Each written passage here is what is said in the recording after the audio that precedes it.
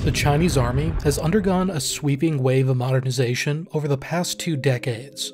Artillery, the god of war and king of battle, holds a particular significance in Chinese doctrine, so it's been on the receiving end of significant investment. But how do the endless streams of different variants we see at parades translate into practice?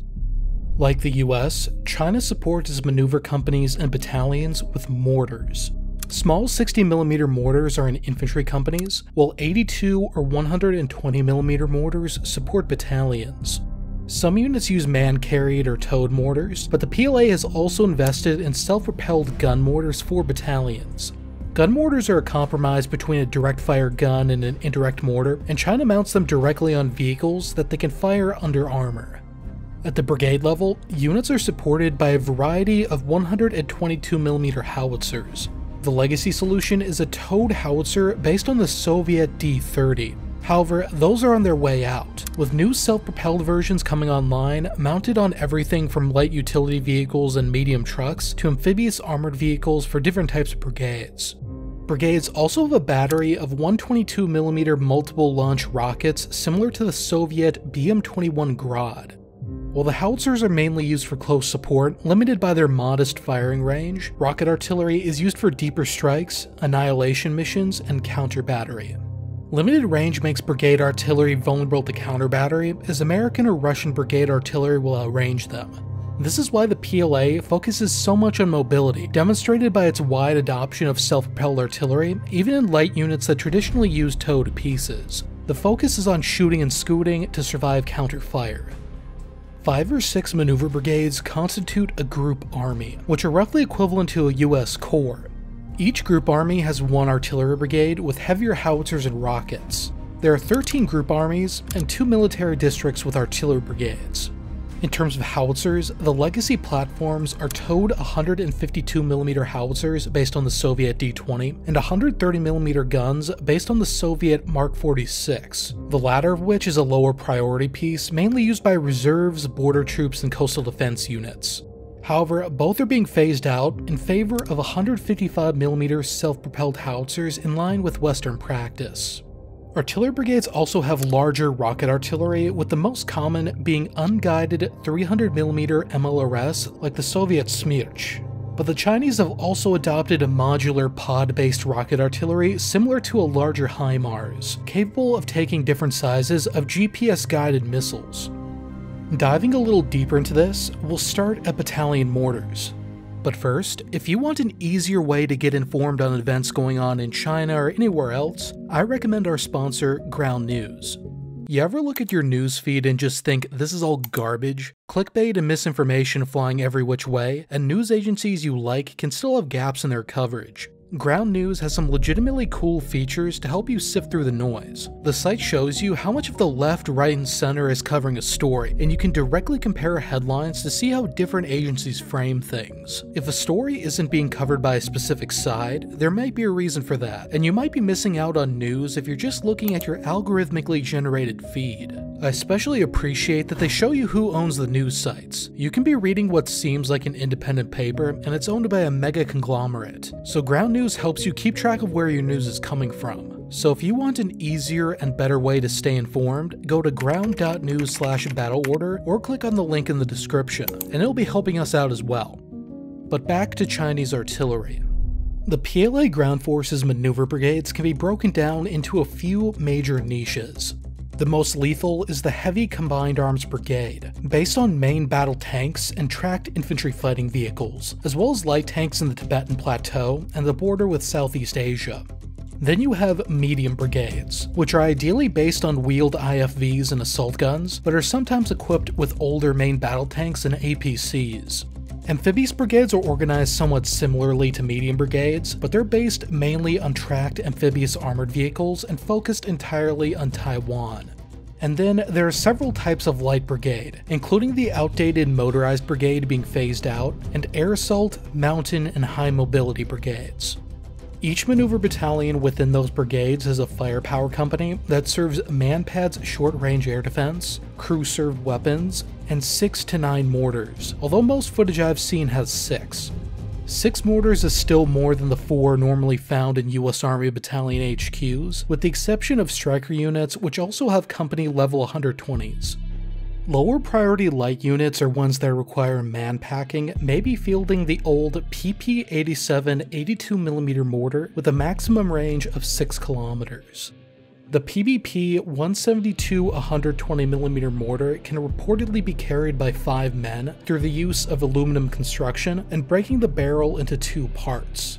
There's talk that they're centralized on the southern border with Vietnam, Laos, and Myanmar, where the harsh terrain favors man-packed or towed artillery. They've been seen towed by small utility vehicles, most likely part of an air assault unit, and some light brigades appear to have a version of the Warrior as well for carrying this mortar. In the past, this was actually the role of 100mm mortars, which was used as a regimental level piece for air assault units and units that were fighting in the jungle or highland regions.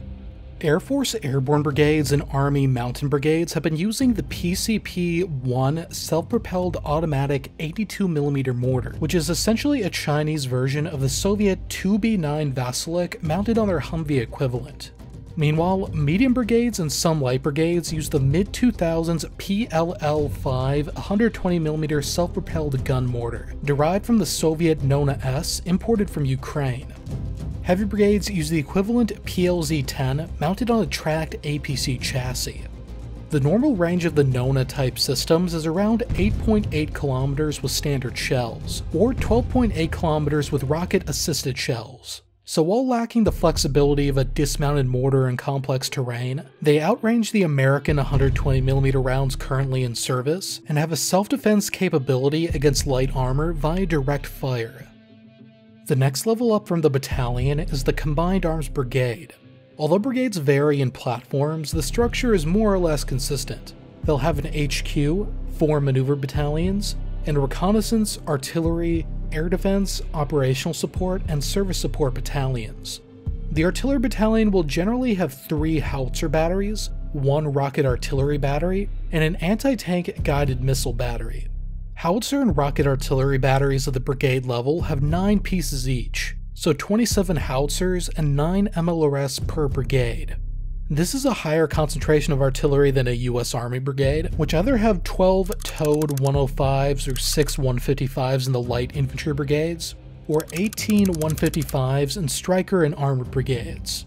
But keep in mind that American 155s outrange Chinese 122s and have higher lethality downrange due to more explosive filler, a quick side note on HE content in different kinds of shells. The explosive filler weight of the standard HE round on a Nona S 120mm mortar is about 4.9 kilos or 10.8 pounds. Rocket assisted projectiles are more like 3.3 kilos. Chinese 122mm HE rounds for brigade SPGs are in that 3.5 kilogram filler area. Compare this to American M1 105mm shells at 1.9 to 2.3 kilograms, and M795 155mm projectiles at 10.8 kilograms. This is because small changes in diameter create bigger changes in volume, and mortar shells generally have more explosive filler than howitzer shells of the same caliber. The Chinese 122 also has slightly superior range to the American 105, reaching out to 18 kilometers with standard HE, or 27 kilometers with rocket-assisted projectiles or RAP. This compares to 105mm light guns, which can reach out to 17.5 kilometers normally, or 19.5 kilometers with rocket assistance. But an American M109 Paladin with its 155mm howitzer can hit out to 21 kilometers normally, 30 kilometers with rocket assistance, and 40 kilometers with guided Excalibur shells. Particularly in the case of the PLA High Mobility Brigade versus an American IBCT in a vacuum, and I stress in a vacuum, the American is outgunned in both number of artillery pieces, range, and lethality not counting reinforcing artillery or the US's far more mature and numerous close air support capabilities. But at the same time, when compared to a Russian brigade which has 36 152mm SPGs and 18 rocket launchers, it's not going to Soviet levels of artillery concentration. In terms of brigade howitzers, there are 7 different platforms in service. First, there's the Towed PL-96, a Soviet D-30 clone, which is acknowledged by the PLA to require too many crew to operate and require too much time to pack up and move to avoid counter battery. So it's being replaced by two platforms. In the Western, Northern, and Central Theater Commands, its interior regions bordering Russia, India, and North Korea, towed howitzers are being replaced by the PCL 161, based on a 3.5 ton medium truck. Meanwhile, in the Southern and Eastern Theater Commands, more oriented towards Taiwan and Southeast Asia, it's being replaced by the PCL 171, which is based on the Warrior CTL 181A series of MRAP utility vehicles. The reason for the geographic split between the truck-mounted SPGs appears to be due to mobility, although this is perhaps open source speculation. The PCL 161, being based on a truck, has a larger carrying capacity and thus can carry more ammo. So the 161 is probably the superior artillery platform, while the 171 offers increased strategic mobility for theaters that rely on airlift or sea lift to reach the combat zone, or are inundated with jungle terrain. Movement in the interior would mainly be accomplished by rail and self-deployment on road, so perhaps having a slightly larger SPG isn't as big of a concern there. The somewhat older PCL-9 is also in play in light units, but it's likely to be phased out with the two newer systems as the PLA standardizes its chassis. Medium brigades have their equivalent in the PLL-9 mounted on the same chassis as their wheeled IFV, while heavy brigades have a mix of the older PLZ-89 and the newer PLZ-7. Rocket artillery batteries similarly have distinct variants for each type of formation. Light brigades are also getting two new platforms, a 120mm MLRS based on the Warrior for Southern and Eastern Theater units, and one based on a 3.5 ton truck in the interior. They're similar in role to a BM-21 Grad with a reported maximum range of 40 to 50 kilometers. However, unlike a Grad, the newer Chinese MLRs are based on 20 rocket detachable pods. Although we've seen footage of PLA troops reloading these pods manually in the way of a Grad, which is extremely manpower and time intensive, Chinese MLRs have accompanying reloading vehicles that can reload whole pods with a crane. It's not as elegant of a solution as the HIMARS self-reloading crane, but a big improvement over older Chinese systems, such as the PHL-81, PHZ-89, and PHL-90. By contrast, you're still seeing Russians manually reload their newer Tornado Gs, which in practice increases the turnaround times between fire missions, or limits the size of a salvo you can fire at a time. Medium and heavy brigades are similarly getting new pod-based MLRs, but with two pods for a total of 40 rockets. In mediums, the PHL-11 is replacing older truck-based systems, while the PHZ-10 is replacing the PHZ-89 in heavy brigades. In practice, these MLRs would likely act in general support of the entire brigade, hitting targets in depth and performing counter-battery missions, We've also seen Chinese engineers using MLRs to distribute mines with special rockets. However, due to the imprecision of unguided rockets and the time necessary to load any sort of specialty munition, they're not ideal for close support of troops in contact. This remains the domain of howitzers and mortars. Moving on, the highest level artillery we're looking at are in the Group Army's Artillery Brigade. These formations vary more based on geography and needs, but they contain heavier artillery than is found in combined arms brigades. With this artillery, they can mass fire at the army level or provide reinforcing fires in support of individual maneuver brigades. Starting off with cannons, the legacy solutions are the old Soviet-derived 152mm howitzers and 130mm guns. There are also older PLZ-83 152mm SPGs similar to a Soviet Akatsiya, but all three are being rapidly replaced, particularly in the east, with 155mm self-propelled solutions. Firstly, there's the tracked PLZ-5. Its 52 caliber 155mm gun is capable of reaching out to 30 kilometers with standard ammunition and 39 kilometers with rocket-assisted shells. A variety of shells are available, including equivalents to the laser-guided Krasnopol, GPS-guided Excalibur, and bonus anti-tank top attack shells. The newest laser guided projectiles marketed by Norinco are reported to have a range of 25 kilometers, while the GPS guided shells can reach out to 35 kilometers. It's unknown to me as to their proliferation in actual PLA units versus Norinco just trying to hit up the export market, but we have seen them being used in exercises. Also coming into service is the PCL 181, which has a similar cannon but mounted on a 6x6 truck. Whereas the PLZ-5 will probably be a support option for heavier units, the PCL-181 will probably shine in supporting medium and light brigades. Being a wheeled truck means it can self-deploy on eastern China's dense highway infrastructure, whereas tracked units generally require tank transporters. It can also fit on Y-9 medium transport aircraft for rapid deployability overseas or at home. Notably, Navy Marine Corps units also operate the PCL 181 at the brigade level, and divisions under the Xinjiang Military District have them in their fire regiments.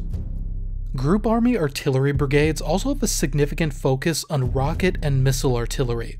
The PHL 3 is emblematic of this, which is a truck based 12 tube 300mm MLRS similar to a Russian BM 30 Smerch. They fire unguided rockets or guided missiles, with a maximum range of 130 kilometers.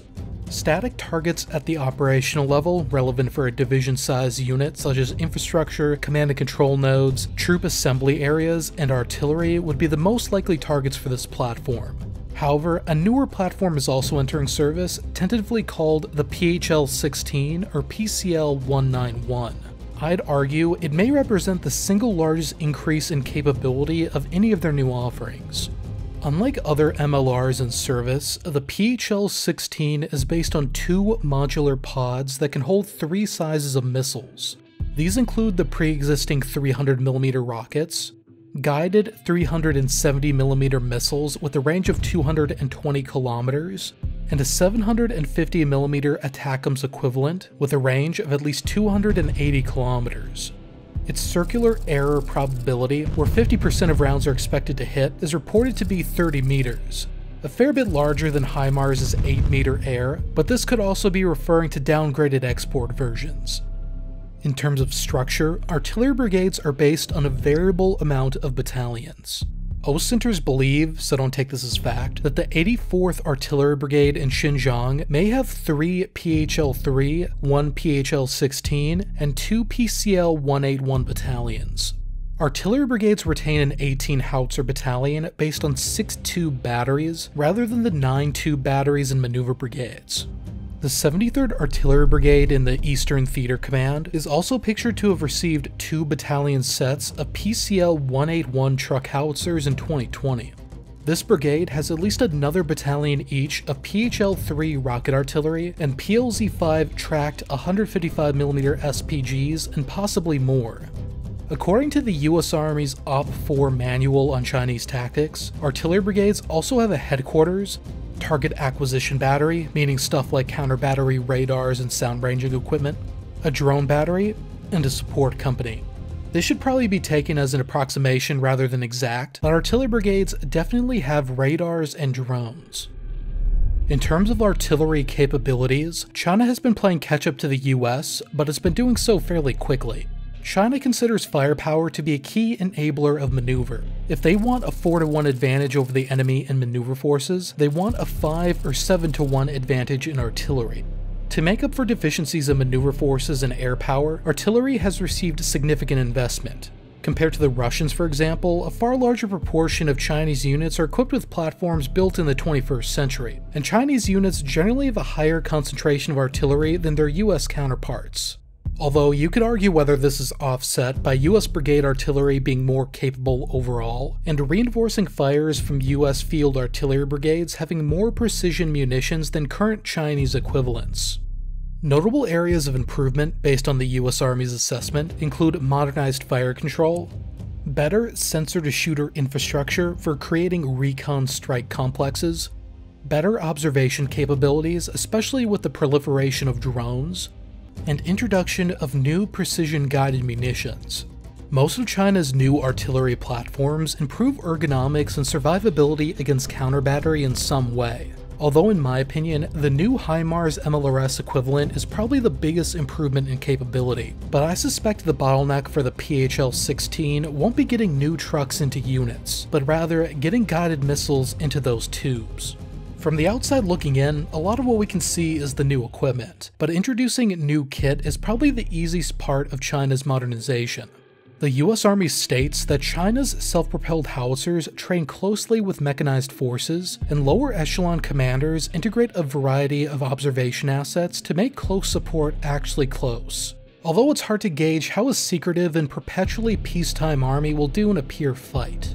Sustaining combat operations with a steady stream of artillery ammunition may be their biggest limitation, particularly when you start throwing amphibious or air assault operations into the mix. And when you start talking about precision guided missiles, the cost of those munitions may mean they'd have to be spared for only the most valuable deep targets. Thanks to all our patrons for keeping Battle Order going. Consider joining them at the link in the description. And if you enjoyed this video, check out our look at missile artillery in the US, Britain, and Japan. We'll see you over there.